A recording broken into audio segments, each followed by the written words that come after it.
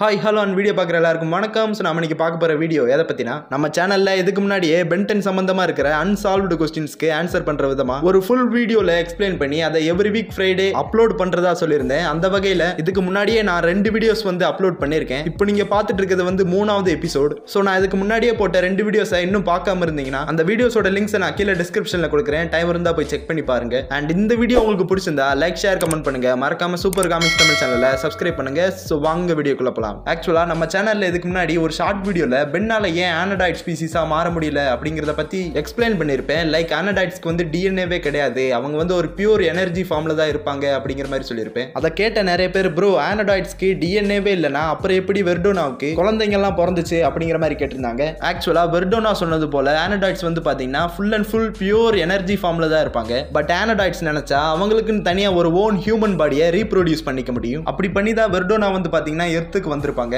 வந்தது மட்டும் இல்லாமல் மேக்ஸ் டென்னிசனை லவ் பண்ணி அவங்களுக்குன்னு குழந்தைங்க வேற பிறந்திருக்கும். ஸோ நீங்கள் சொல்கிறபடி டிஎன்ஏவாக இருந்திருந்தா பென் பென்னோட அப்பா குவென்னோட அப்பா இவங்க எல்லாராலையுமே ஆனடாய்ட்ஸோட பவரை ரொம்ப ஈஸியாகவே யூஸ் பண்ண முடிஞ்சிருக்கும். பட் அவங்களால முடியல. குவென் மட்டும்தான் ஒரு ஆனடாய்டாக மாறி இருப்பா அதுக்கு காரணம் குவென் வந்து தன்னோட சின்ன வயசுல இருந்தே ஏகப்பட்ட மேஜிக்கல் ட்ரைனிங் எடுத்து தனக்குள்ள இருக்கிற மேனா எனர்ஜியை அன்லீஷ் பண்ணியிருப்பா. ஸோ குவென்குள்ள இருக்கிறது ஆனடாய்டோட டிஎன்ஏ கிடையாது. ஆனடாய்டோட லைஃப் எனர்ஜி சோர்ஸ் தான் அவளுக்குள்ள இருக்கு. அப்படி மட்டும் ஆனடாய்டுக்கு டிஎன்ஏ இருந்திருந்தா கண்டிப்பா ஆம்னிட்ரிக்ஸ் வந்து அந்த டிஎன்ஏ சாம்பிளை ஸ்கேன் பண்ணியிருக்கும். ஈவன் குவென் வந்து ஒரு எபிசோட்ல பென்னை காப்பாத்துறதுக்காக ஆனடாய்ட் ஃபார்ம்ல அல்டிமேட்ரிக்ஸ்குள்ளேயே போயிருப்பா. அப்போ கூட ஆம்னிட்ரிக்ஸ் வந்து ஆனடாய்டோட டிஎன்ஏ சாம்பிளை கலெக்ட் பண்ணல. ஸோ ஆனடைட்ஸ்க்கு டிஎன்ஏவே கிடையாது. இப்போ சப்போஸ் குவென்னும் ஒரு ஆனடாய்ட் ஃபார்முக்கு மாறிட்டா அந்த ஆனடாய்ட் ஃபார்ம்ல குவென்னுக்கும் டிஎன்ஏங்கிறதே இருக்காது. ஈவன் சீரிஸ்ல வெர்டோனாவை தாண்டி இன்னும் ஒரு சில ஆனடாய்ட்ஸை காமிச்சிருக்காங்க. யாருன்னா சாம் கேஸ்டர் அப்படிங்கிற ஒரு வில்லன் கேரக்டரை பென்டன் சீரிஸ்ல பார்த்திருப்பீங்க. இவக்குள்ளேயுமே ஒரு ஆனடாய்டோட பவர்ஸ் இருக்கு. ஏன்னா சாம் கேஸ்டரோட அப்பா வந்து பாத்தீங்கன்னா ஒரு ஆனடாய்டு சீரீஸ்லேயே கூட காமிச்சிருப்பாங்க. ஸோ ஒரு ஆனடாய்டால ஹியூமன் ஃபார்முக்கு மாதிரி குழந்தைங்கலாம் கூட பெத்துக்க முடியும். பட் அப்படி பிறக்கிற குழந்தைங்களுக்கு ஹியூமன் டிஎன்ஏ தான் இருக்கும். அவங்க வந்து கொஞ்சம் கொஞ்சமா தனக்குள்ள இருக்கிற அந்த மானா எனர்ஜியை அன்லீஷ் பண்ணணும். அப்படி பண்ண பண்ண அவங்களுக்குள்ள இருக்கிற அந்த ஒரு லைஃப் எனர்ஜிங்கிறது இன்க்ரீஸ் ஆகிக்கிட்டே இருக்கும். அதனால தான் மைக்கேல் மார்னிங் ஸ்டாருங்கிற ஒரு வில்லன் கேரக்டர் வந்து பாத்தீங்கன்னா குவென்னுக்குள்ள இருக்கிற லைஃப் எனர்ஜியை அப்சர்வ் பண்ண ட்ரை பண்ணுவான். இதே மார்னிங் ஸ்டார் தான் பாத்தீங்கன்னா சாம் கேஸ்டரோட லைஃப் எனர்ஜியும் அப்சர்வ் பண்ணிருப்பான் ஸோ ஆனடாய்ட்ஸ்குள்ள டிஎன்ஏ இருக்காது. அதுக்கு பதிலாக full and full Mana energy தான் இருக்கும். அண்ட் இது சம்பந்தமா இன்னும் ஏகப்பட்ட கொஸ்டின்ஸ் கேட்டிருந்தாங்க. லைக் பென்னோட ஆம்னிட்ரிக்ஸ் வந்து என்ஆர்ஜி அப்படிங்கிற ஒரு ஏலியனோட டிஎன்ஏவை ஸ்கேன் பண்ணியிருக்கும். ஸோ இந்த என்ஆர்ஜி ஏலியனுமே ஃபுல் அண்ட் ஃபுல் எனர்ஜி ஃபார்ம்ல இருக்கிற ஒரு ஏலியன் தானே? அப்புறம் எப்படி பென்னோட ஆம்னிட்ரிக்ஸ் வந்து இந்த என்ஆர்ஜியோட டிஎன்ஏவை ஸ்கேன் பண்ணுச்சுன்னு கேட்டிருக்கீங்க? ஆக்சுவலா என்ஆர்ஜி வந்து ஆனடாய்ட்ஸ் மாதிரி full and full pure energy ஃபார்ம்லலாம் இருக்காது. என்னதான் அது ஏகப்பட்ட எனர்ஜி அப்சர்வ் பண்ணி ஒரு எனர்ஜி ஃபார்முக்கே ஃபுல்லா மாறினாலும் அதுக்குன்னு ஒரு ஓன் பாடி அண்ட் டிஎன்ஏ எல்லாம் இருக்கத்தான் செய்யுது. லைக் பென்டன் சீரிஸ்ல ஹீட் பிளாஸ்ட்ங்கிற ஒரு ஏலியன் இருக்கு. இந்த ஹீட் பிளாஸ்டோட உடம்பு ஃபுல்லாவே நெருப்பு தான் எரிஞ்சிட்டு இருக்கும் என்னதான் இதோட பாடி ஃபுல் அண்ட் ஃபுல் ஃபயரால கவரா இருந்தாலும் அதுக்குள்ளேயும் இதுக்குன்னு ஒரு பாடிங்கிறது இருக்கு.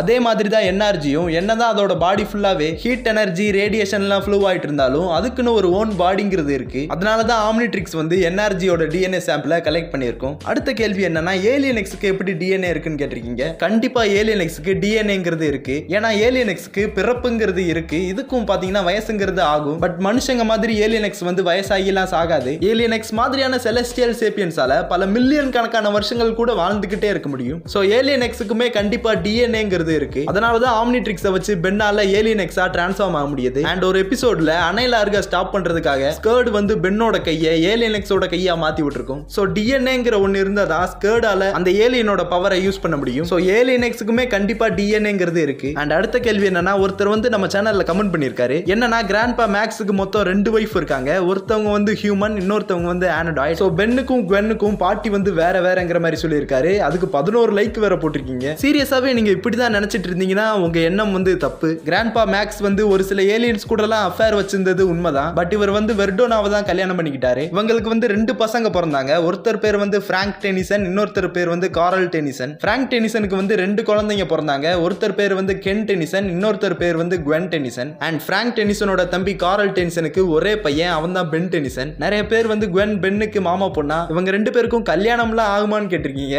ஆக்சுவலா குவென் வந்து பென்னோட பெரியப்பா பொண்ணு. ஸோ ரெண்டு பேருமே பாத்தீங்கன்னா அண்ணன் தங்கச்சி. இவங்களுக்குள்ள பெருசா எந்த ஒரு பேட் ரிலேஷன்ஷிப்புமே கிடையாது. அண்ட் கிராண்ட்பா மேக்ஸுக்குமே ஒரே ஒய்ஃப் வெர்டோனா மட்டும்தான் இருக்காங்க. ஒருவேளை ரெண்டு ஒய்ஃப் இருக்குன்னு நினைச்சிட்டு இருந்தீங்கன்னா உங்க எண்ணம் வந்து ராங் அண்ட் அடுத்த கொஸ்டின் என்னன்னா பென் டுவெண்ட்டி த்ரீயோட ஆம்னிட்ரிக்ஸ் வந்து ரீகாலிபிரேட் ஆகுமான்னு கேட்டிருக்கீங்க. ஆக்சுவலா பென் டென்னோட ஆம்னிட்ரிக்ஸ் வந்து ஏலியன் ஃபோர்ஸ்ல ரீகாலிபிரேட் ஆனதுக்கு காரணமே ஆஸ்மித் வந்து பென் ஆம்னிட்ரிக்ஸை நல்லாவே யூஸ் பண்ணுவாங்க பண்ணுவான்னு தெரிஞ்சுதான் அவனோட ஆம்னிட்ரிக்ஸை ஏலியன் ஃபோர்ஸோட ஸ்டார்டிங் எபிசோட்ல அப்டேட் பண்ணியிருப்பாரு. பட் பென் டுவெண்ட்டி த்ரீ வந்து அப்படி கிடையாது. அவனோட யூனிவர்ஸ்ல கிராண்ட் பா மேக்ஸ் வந்து இறந்துட்டாருங்கிறதுனால அவன் பார்க்குற எல்லா ஏலியன்ஸையுமே கெட்டவங்கன்னு தான் நினைச்சிட்டு இருப்பான். பிளஸ் இவனுக்கு கர்வமும் ஹெட் வெயிட்டும் கொஞ்சம் அதிகமாவே இருக்கும். அதனாலேயே அவன் யூனிவர்ஸ்ல இருக்கிற ஆஸ்மித் வந்து இவன் கையில இருந்து ஆம்னி ட்ரிக்ஸை பிடிங்கிருவாரு. அதுக்கப்புறமா பென்டன் வந்து ரெக்கமெண்ட் பண்ணதுக்கு அப்புறம் தான் ஆஸ்மித் வந்து பென் டுவெண்ட்டி த்ரீ கையில ஆம்னிட்ரிக்ஸையே கொடுப்பாரு. ஸோ பென் டுவெண்ட்டி த்ரீயோட ஆம்னிட்ரிக்ஸ் வந்து ரீகாலிபிரேட் ஆகணும்னா அது அவன் யூனிவர்ஸ்ல இருக்கிற ஆஸ்மத் நினைச்சா மட்டும்தான் முடியும். பட் அவருக்கு அந்த அளவுக்கு பென் டுவெண்ட்டி த்ரீ மேலே நம்பிக்கை இருக்கிற மாதிரி தெரியல. அண்ட் பென்டனோட ஆம்னிட்ரிக்ஸ் வந்து ரீகாலிபிரேட் ஆனதுக்கப்புறமா சீரீஸில் ஒரு சில பிளாட் ஹோலும் கிரியேட் ஆயிருக்கும். எப்பனா பென் வந்து ஃபர்ஸ்ட் டைம் ஸ்வாம் ஃபயர் இல்லைனா மாறிட்டு இருக்கும் போதே அதோட பேர் வந்து ஸ்வாம் ஃபயர் தாங்கிறத சொல்லிடுவான்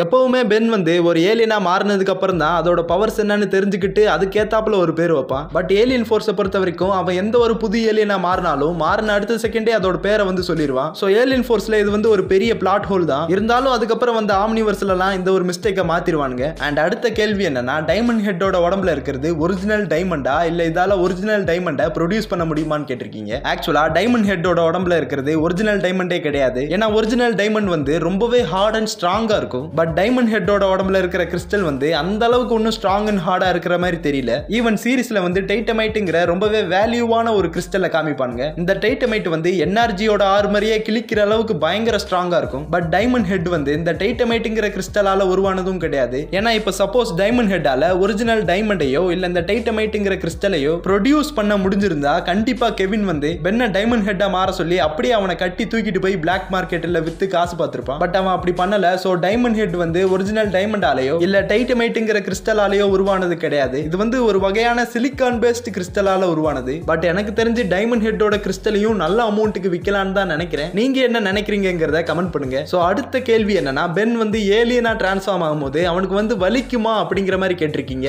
ஆக்சுவலா பென்னோட ஏலியன் டிரான்ஸ்ஃபர்மேஷன்ங்கிறது இப்படி ஒரு செகண்ட்ல நடந்துரும். ஸோ அவனுக்கு அது பெருசா வலிக்கிற மாதிரி எங்கேயுமே காமிக்கல. பட் பென் டென் கிளாசிக்கை பொறுத்த வரைக்கும் பென் வந்து ஃபர்ஸ்ட் டைமா பென் உல்ஃபா மாறும்போது அவன் வந்து கொஞ்சம் கொஞ்சமா பொறுமையாக தான் டிரான்ஸ்ஃபார்ம் ஆவான். அப்போ அவனுக்கு அது கொஞ்சம் வலிச்சு அவன் கத்துற மாதிரியும் காமிச்சிருப்பாங்க. ஸோ பென்னோட டிரான்ஸ்ஃபார்மேஷன் ப்ராசஸ் வந்து கொஞ்சம் பொறுமையாக நடந்தாலும் அது அவனுக்கு கொஞ்சம் லைட்டாக வலியை ஏற்படுத்தும். பட் பென் வந்து டக்கு டக்குன்னு டிரான்ஸ்ஃபார்ம் ஆகும்போது அவனுக்கு வந்து பெருசாக வலிக்காதுன்னு தான் நினைக்கிறேன். ஈவன் கிளாசிக் சீரிஸில் பென் வந்து ஆம்னிட்ரிக்ஸோட மாஸ்டர் கண்ட்ரோலில் அன்லாக் பண்ணதுக்கப்புறம் டக் டக்குன்னு அடுத்தடுத்து நினைக்கிற ஏலியன்ஸாக பென் வந்து டிரான்ஸ்ஃபார்ம் ஆகிட்டே இருப்பான். அண்ட் ஏலியன் ஃபோர்ஸ் ஆம்னிவர்ஸ்லாம் பென்னோட டிரான்ஸ்ஃபார்மேஷன் கண்ணுமிக்கிற நொடியில் நடக்கும். ஸோ இவ்வளோ ஃபாஸ்ட்டாக பென் வந்து டிரான்ஸ்ஃபார்ம் ஆகும்போது அவனுக்கு வந்து பெருசாக வலிக்காது. கிட்டத்தட்ட வழியே தெரியாதுன்னு கூட சொல்லலாம்.